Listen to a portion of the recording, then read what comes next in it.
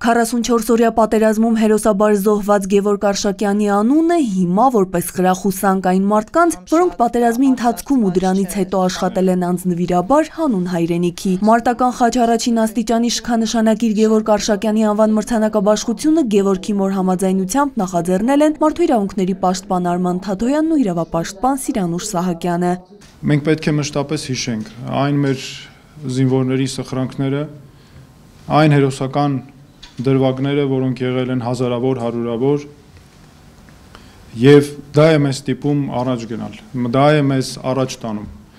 Դա է որ մեզ առաջ է տանում ամեն մեկս մեր ոլորտում, որպեսզի ամեն ինչ անենք, նախ որ արժանի լինենք նրանց կատարած սխրանքին եւ երկրորդը մենք կարողանանք մեր յուրաքանչյուրս մեր աշխատանք մեր աշխատանքով, մեր դե, մեր դիրքում վերահաս վտանգները կանխարգել ենք, որոնք ցավոք սրտի դեռ արկա են, որպեսի թույլ չտանք, որ որևէ անգամ մեր ժողովուրդը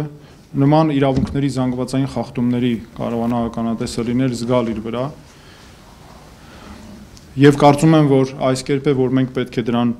նաև հասնենք։ Պատվոգրեր ու դրամական պարգևներ տրվեցին 3 անվանակարգում։ Սիրանուշ Սահակյանը նշեց առանձնացրելու կարևորել են այն մարդկանց, որոնց դերն ու ներդրումն անգնահատելի է։ Չափազանց կարևորել ենք որոշ մասնագետների դերը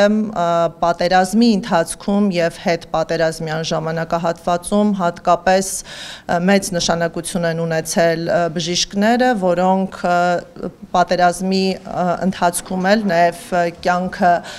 զոհաբերելով հանձնարել են վիրավոր զինվորների բուժումը եւ կյանքի փրկության ուղված գործողություններ են իրականացրել